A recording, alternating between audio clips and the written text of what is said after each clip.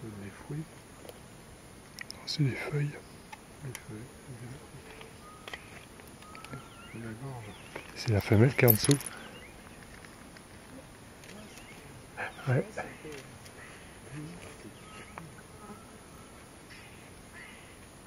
C'est un capucin. Non, non, c'est la femelle. Ah non, c'est ça? Oui. Non, c'est le female.